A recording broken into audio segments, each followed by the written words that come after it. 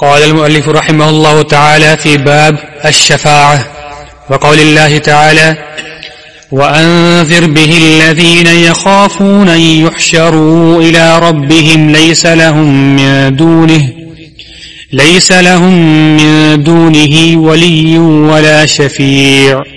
وقوله تعالى قل لله الشفاعة جميعا. وقوله من ذا الذي يشفع عنده إلا بإذنه وقوله تعالى وكم من ملك في السماوات لا تغني شفاعتهم شيئا لا تغني شفاعتهم شيئا إلا من بعد أن يأذن الله لمن يشاء ويرضى. جزاكم الله خيرا. باب الشفاعة. یہ شفا ہے، اصل اس کا معنی جفت عدد۔ جفت عدد، ایک تاک عدد ہوتا ہے، ایک جفت ہوتا ہے۔ تاک کو بطر یا بطر بولتے ہیں اور جفت کو شفیع یا شفا بولتے ہیں۔ اور شفا کا معنی سفارش کرنا، کیونکہ سفارش سے ایک اکیلا انسان جفت ہو جاتا ہے۔ وہ اکیلا ہوتا ہے، اس کی سفارش کرنے والا اس کے ساتھ مل کر وہ اس تاک کو اس نے جفت کر دیا۔ اس لیے شفا کو شفا کہا جاتا ہے، سفارش۔ سفارش جو ہے، یہ ایک ایک اعتقادی مسئلہ ہے، جو قیامت کے دن ہوگی اور شفاعت حق ہے۔ لیکن شفاعت کی دو قسمیں جو آیات آپ نے پڑھی، ان میں سے بعد آیات میں شفاعت ثابت ہے کہ ہوگی اور شفاعت حق ہے۔ اور بعد آیات میں کیا ہے کہ شفاعت باطل ہے، قیامت کے دن شفاعت نہیں ہوگی۔ یہ کوئی تناقض نہیں ہے۔ جو شفاعت ثابت ہے وہ اور ہے، اور جس شفاعت کی نفی ہے وہ اور ہے۔ تناقض نہیں ہے، بلکہ شفاعت مثبت ہے، جو ثابت ہے وہ شفاعت اور ہے، اور جس کی نفی ہے وہ اور ہے۔ نفی کس کی ہے؟ نفی اس شفاعت کی ہے جس کا دعوی مشرقین مکہ کرتے تھے۔ یا اب بھی اہل شرک کرتے ہیں کہ فلاں ہمارا شفیع ہے، ہماری سفارش کرنے والا۔ فلاں ہمارا شفیع ہے، یہ شفاعت باطل ہے۔ اپنی مرضی سے کوئی کسی کو شفیع قرار دے اور اس کو شفیع قرار دے کر اس کو پکارے اور اس سے مدد طلب کرے اور یہ ظاہم رکھے یا امید رکھے کہ قیامت کے دن یہ ہماری شفاعت کریں گے۔ اس قسم کی ہر شفاعت باطل ہے۔ تو قرآن و حدیث میں جہاں جہاں شفاعت کا انکار ہے یا نفی ہے، وہاں یہ باطل شفاعت ہے۔ اور حق شفاعت، ثابت شفاعت کیا ہے؟ ثابت شفاعت جو ہے، وہ تین چیزوں کا نام ہے۔ نمبر ایک، اللہ تعالی اپنے امر سے، اپنی مرضی اور اختیار سے کسی شخص کو شفاعت کرنے کا اختیار دے گا۔ یعنی کہ جو چاہے شفاعت کر لے۔ جو شفاعت کرے گا، جو بھی کرے، وہ اللہ کے امر سے کرے۔ گا جو بھی شفاعت کرے۔ یعنی شافع کون ہوگا؟ شفاعت کرنے والا کون ہوگا؟ جس کو شفاعت کی اجازت کون دے؟ اللہ تعالی۔ وہ شفاعت کس کی کرے گا؟ یہ مشہور ایک ہے شافع، شفاعت کرنے والا، ایک مشہور جس کی شفاعت کی جائے۔ وہ شفاعت کس کی کرے گا؟ جس کی شفاعت کرنے میں اللہ راضی ہو۔ دو باتیں۔ تیسری بات یہ کہ اللہ تعالی کس کی شفاعت پر راضی ہے؟ اس نے خود بیان کر دیا کہ یہ حق صرف اہل توحید ہے ایک موحد کے علاوہ قیامت کے دن کسی کی شفاعت نہیں ہوگی۔ جس شفاعت میں یہ تین باتیں جمع ہیں، وہ شفاعت ثابتہ اور شفاعت حق ہے۔ اور باقی جو مشرقین نے یہ آج بھی شفاعت کے تعلق سے جو لوگوں نے مفروضے بنائے ہوئے ہیں، ان کا حق سے کوئی تعلق نہیں۔ اپنی مرضی سے آپ کو شافے بنا لیں کہ قیامت کی دن ہمیں بخشوا لیں گے، ہماری شفاعت کر کے چھڑا لیں گے۔ باطل ہے یہ۔ کسی کو پکاریں مدد کے لیے کہ قیامت کے دن ہماری کفایت کریں گے۔ یہ شفاعت باطل ہے جو قطع کامیاب نہیں ہوگی، ناکام ہوگی۔ اور قطن اس کا کوئی قیامت کے دن وجود نہیں ہوگا۔ تو پھر کیا ہونا چاہیے؟ ہمیں شفاعت حق کی طلب کرنی چاہیے۔ اور یہ مشکل نہیں ہے، یہ آسان ہے۔ جن شوبدہ بازیوں میں اور حرکتوں میں تم مصروف ہو، وہ لمبا کام ہے۔ یہ آسان اور سہل کام ہے۔ اور کیا عقیدے کا فہم اور توحید کا فہم؟ صحیح بخاری کی حدیث ہے ابو حران نے پیغمبر علیہ السلام سے پوچھا کہ من اسعد الناس بے شفاعتی کے یوم القیامہ کہ یا رسول اللہ علیہ وسلم قیامت کے دن آپ کن خوش نصیبوں کی شفاعت کریں گے؟ آپ نے کیا فرمایا؟ اسعد الناس بے شفاعتی یوم القیامہ، من قال لا الہ الا اللہ خالصا من قلبه میری شفاعت قیامت کے دن صرف ان خوش نصیبوں کو ملے گی جنہوں نے لا الہ الا اللہ کہا اور بالکل خالص ہو کر، شرک کی ملاوٹ سے پاک ہو کر اس کلمے کا اقرار کیا، اعتراف کیا اور اپنی پوری زندگی اسی خالص کلمے پر گزار دی۔ انہیں شفاعت نصیب ہوئی۔ اللہ کے پیارے پیغمبر کی شفاعت سے ان کے گناہ معاف ہوں گے۔ اور یہ میری مجھ جیسے گناہ گار کی بخشش کا سب سے کمی سہارا ہے۔ پیغمبر کی شفاعت۔ تو اس میں جو مفروضے ہیں وہ باطل ہیں۔ کوئی شفیع آپ اپنی مرضی سے تلاش کریں یا بنائیں، یہ شفاعت باطل ہے۔ نبی صلی اللہ علیہ وسلم کی شفاعت کے بارے میں مفروضہ غلط قائم کریں۔ جیسے کچھ لوگ کہتے ہیں جی نبی علیہ السلام کی شان میں ایک قصیدہ کہہ لو، شفاعت مل جائے گی۔ نبی صلی اللہ علیہ وسلم کی میلاد کے تعلق سے ایک محفل منعقد کر لو، شفاعت مل جائے گی۔ کہاں لکھا ہوا یہ سارے امور کے لیے ثبوت چاہیے، دلیل چاہیے۔ دلیل پیش کرو۔ اور پھر یہ سارے مفروض ہے نبی صلی اللہ علیہ وسلم کے فرمان کے خلاف کہ میری شفاعت کن کو حاصل ہوگی؟ جن کی توحید خالص ہوگی۔ تو جو باتیں پیغمبر اسلام کی شفاعت کے حوالے سے کی جاتی، وہ ساری بات ہے تو اس قسم کی شفاعت اور اور توسل کے سارے علائق، یہ دین کے خلاف ہیں، دین کے مزاج کے خلاف ہیں، توحید کے خلاف ہیں۔ بلکہ میں کہتا ہوں عقل کے خلاف ہے عقل کے خلاف، بعض لوگ کہتے ہیں کہ وسیلے کے بغیر دعا نہیں چڑھتی اوپر۔ یہ دین کے خلاف، نقل کے خلاف، اللہ کی وحی کے خلاف اور عقل کے بھی خلاف۔ دعا کس کو کرنی، کس سے کرنی؟ اللہ سے۔ اس ذال کا تعارف کیا ہے؟ نحن اقرب الیکم من حمد الورید کہ ہم تمہاری شارک سے بھی قریب ہیں۔ اتنا قریب۔ اس سے دعا کرنی۔ جو قریب ہے۔ ہم کیا کہیں، یا اللہ نہیں، تو قریب ہے۔ مگر میں پہلے بغداد جاؤں گا۔ بغداد والے کے وسیلہ لے کر آؤں گا، پھر تو اسے مانگوں کہتے ہیں کہ بادشاہ سے وزیر کے وسیلہ ضروری ہے ملاقات کے لیے۔ لیکن بھائی بادشاہ اگر تیرے کمرے میں آ جائے کہ مانگ مجھ سے کیا مانگنا ہے؟ اور تو کہ نہیں نہیں نہیں، پہلے وزیر کے پاس جاؤں گا، وسیلہ لاؤں گا، پھر تجھ سے مانگوں گا۔ تو یہ دانش اور عقل ہی حماقت ہے۔ نقل کے خلاف، اللہ کی وحی کے خلاف، دین کے خلاف، عقل کے خلاف۔ تو ان آیات میں شفاعت حقہ کا بھی ذکر ہے اور شفاعت باطلہ کا بھی ذکر ہے، جن کی ہم نے وضاحت کر دی۔ فرمایا کہ وہ اندر بھی الذین یخافون یحشروا الى ربهم، ليس لهم من دونه ولی ولا شفیع لعلهم یتقون ڈرائیے ان لوگوں کو جو اللہ سے ڈرتے ہیں یحشروا الى ربهم، کہ ان کو ان کے پروردگار کی طرف اٹھایا جائے گا۔ ليس لهم من ولی ولا شفیع ان کے لیے اللہ کے سوا کوئی دوست نہیں ہوگا اور نہ قیامت کے دن کوئی شفیع ہوگا، نہ کوئی شفاعت کرنے والا ہوگا۔ یعنی یہاں شفاعت کا انکار ہے۔ کس شفاعت کا؟ جو شفاعت آپ کے مفروضوں کے تحت ہے۔ جس شفاعت کے مشرقین مکہ قائل تھے۔ یہ شفاعت منفیہ ہے، جس کا انکار ہے۔ کل اللہ شفاعت جمعیہ یہ کلمہ حق ہے۔ کہہ دو، ساری شفاعت کا صرف اللہ مالک ہے۔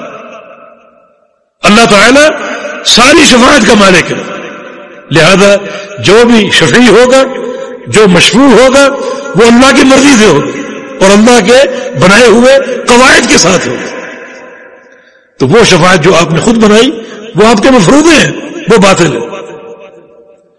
منزل یشو اللہ بزن آیت الکرسی کا مضمون۔ کون ہے جو اللہ کے شفاعت کرے، مگر اس کے اذن کے ساتھ، اس کے اذن کے بغیر کوئی شفاعت نہیں کر سکے گا؟ روز قیامت ایک شفاعت کبرا ہے۔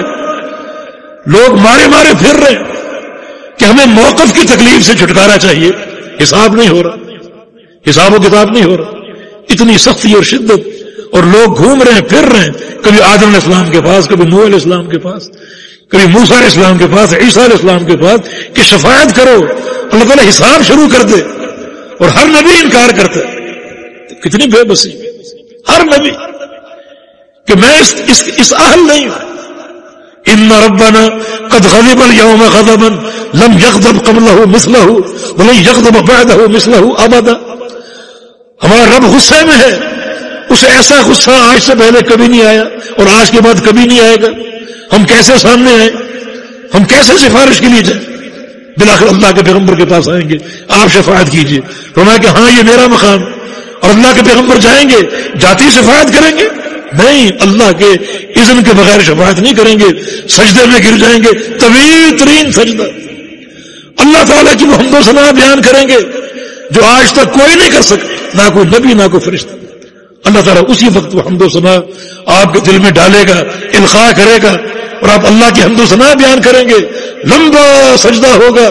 بآخر اللہ فرمائے گا، یا محمد عرفا را سکا کل تسما ہاں، بشفا تو شفا اے محمد صلی اللہ علیہ وسلم اپنا سر اٹھا دیجیے۔ اب کہیے، آپ کی بات سنی جائے گی اور شفاعت کیجیے، آپ کی شفاعت قبول کی جائے گی۔ یعنی معذور ہوں گے، عزت ملے گا، تب شفاعت کریں تو ہم نے شفاعت کے تعلق سے کتنے جرت کے مظاہرے کیے ہوئے ہیں کہ فلاں پیر شفیع ہوگا اور فلاں شفاعت کرے گا، فلاں شفاعت کرے گا۔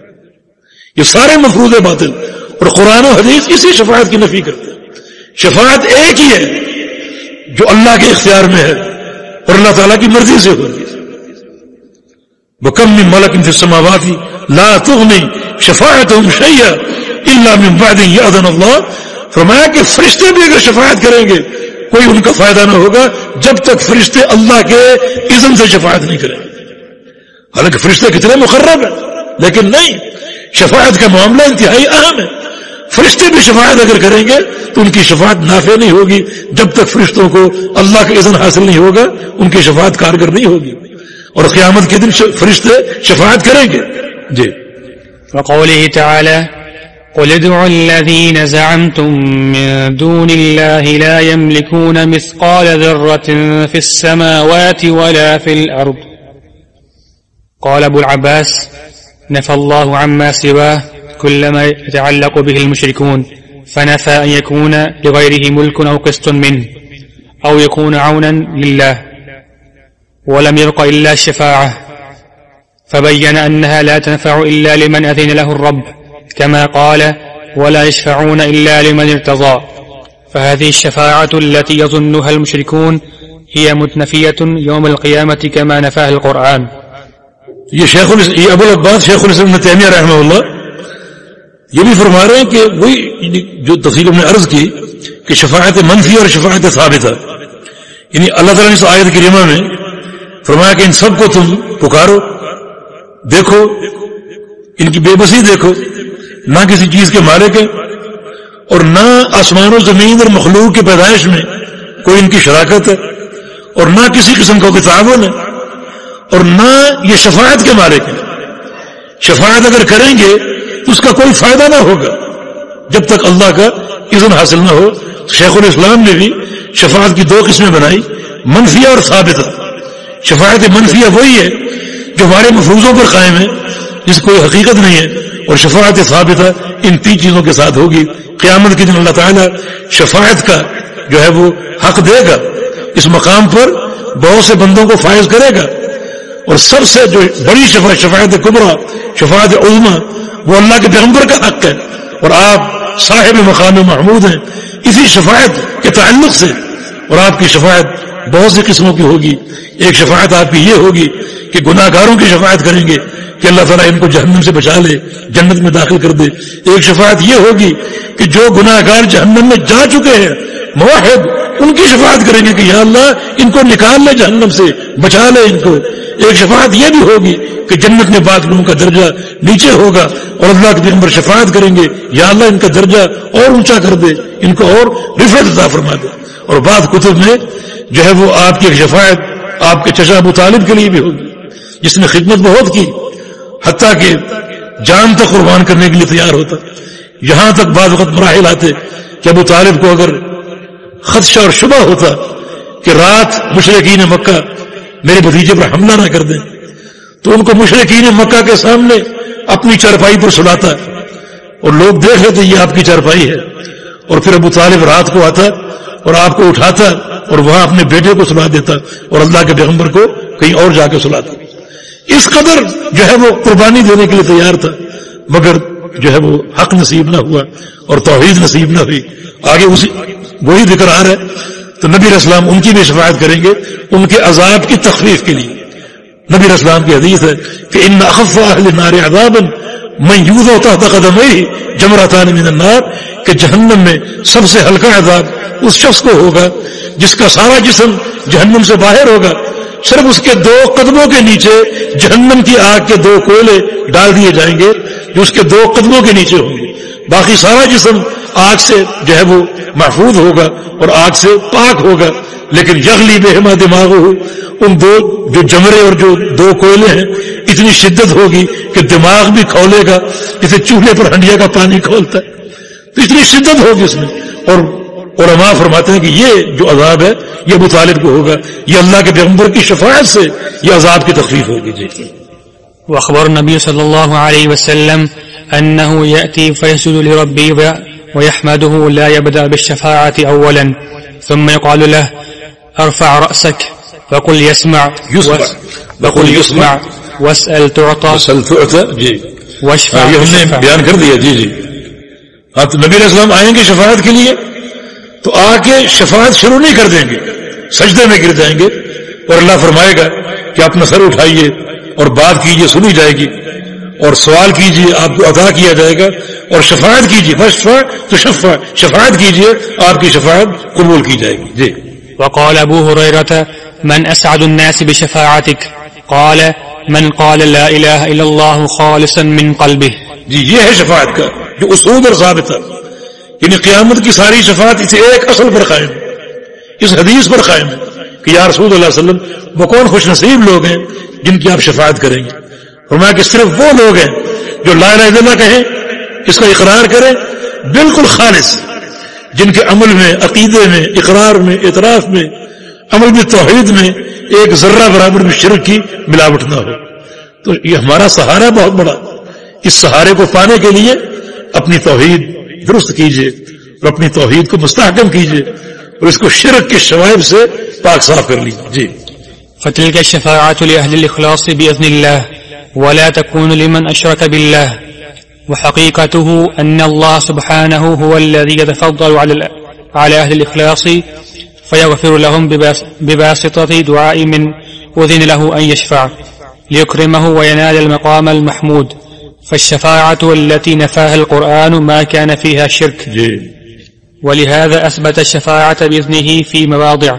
وقد بين النبي صلى الله عليه وسلم أنها لا, أنها لا تكون إلا لأهل التوحيد والإخلاص. تو خلاصہ کلام یہی ہے کہ جس شفاعت کی نفی ہے وہ اہل شرک کے لیے یا شفاعت کے جو غلط مفروض ہے وہ نفی ہے اور جو شفاعت ثابت ہے وہ صرف اہل توحید کا حق ہے۔ اللہ تعالیٰ اپنے اختیار سے شافع بنائے گا یہ ان کی تکریم ہوگی اور اپنے اختیار سے مشروع بنائے گا تاکہ ان کی بخشش ہو جائے اور ان کے لیے رحمت جو ہے وہ کھول دی جائے اور ان کو عطا کر دی جائے۔ تو شافع بھی اللہ بنائے گا اور مشہور بھی اللہ بنائے گا۔ صحیح بخاری کے حدیث کے لفاظ ہے یہ خود الح حدا اللہ حد قائم کرے گا مشروعین کی کہ کس کی شفاعت کرنی ہے اور کس کی شفاعت نہیں کرنی۔ تو اس شفاعت کو غلط مفروضوں سے آپ جو ہے، اس کے مفہوم کو آپ غلط نہ کیجیے۔ بلکہ جو صحیح مفہوم ہے اس کو سمجھیں، اس کو اپنائیں تاکہ اللہ رب العزت ہمیں قیامت کے دن اپنے پیارے پیغمبر کی شفاعت کا مستحق قرار دے دیں